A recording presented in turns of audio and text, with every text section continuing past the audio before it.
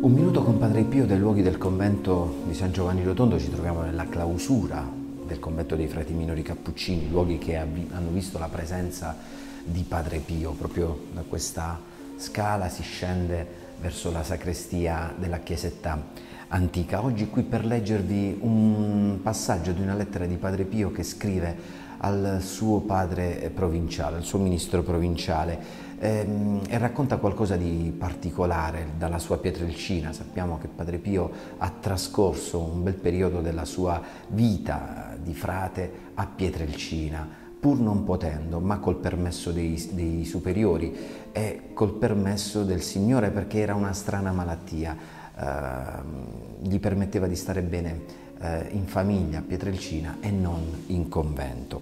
Era il gennaio del 1911 quando lui scrive al suo ministro provinciale quello che gli accadeva nel suo spirito. Chi dunque, Padre mio, mi libererà da tante tentazioni, da tante angustie? Chi mi consolerà?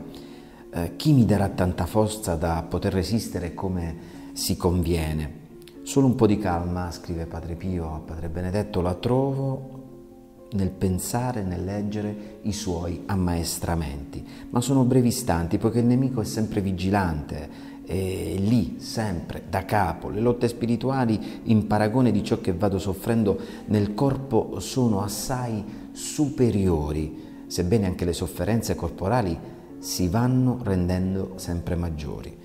Eh, desidererei, caro padre, non dico assai, almeno un'ora al giorno di riposo, ma si faccia sempre di me e intorno a me e in tutto e per tutto la santissima e amabilissima volontà di Dio, poiché questo è quello che mi ha retto. Il demonio mi vuole per sé ad ogni costo. Per tutto ciò che sto soffrendo, se fossi men che cristiano, mi crederei al certo di essere invasato io non so quale ne sia la causa per cui Dio finora non sia, sia mosso a pietà di me col liberarmene. So questo solo però, che Lui non opera senza fini santissimi, utili a noi.